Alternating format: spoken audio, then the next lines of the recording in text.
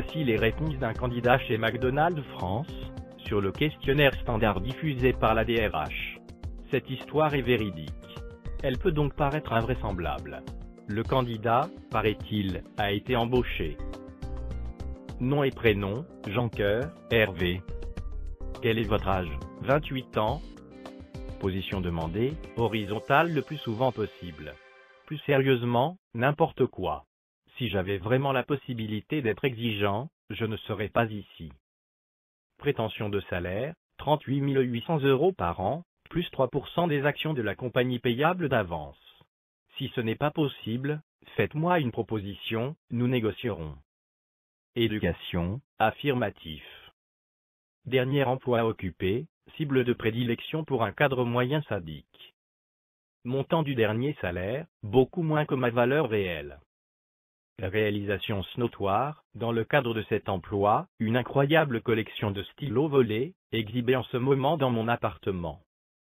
Raison du départ, voire question 6. Horaire de disponibilité, n'importe quand. Horaire souhaité, de 13 à 15 heures, lundi, mardi et jeudi. Avez-vous des dispositions particulières?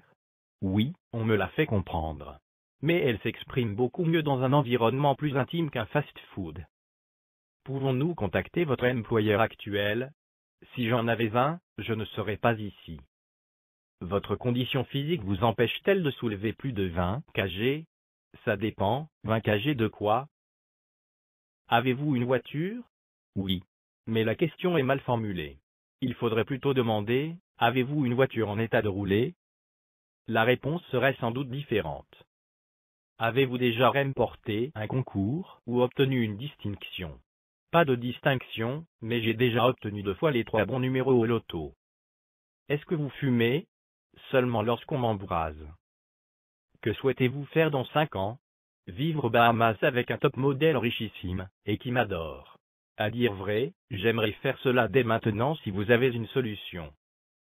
Certifiez-vous que tous les renseignements ci-dessus sont exacts? Non, mais je vous défie de prouver le contraire. Motivation principale de votre candidature J'ai deux versions un peu contradictoires à vous proposer, soit l'amour des causes justes, l'humanisme, et un désir profond d'aider mon prochain à se restaurer, soit un irrémédiable et incompressible fort endettement.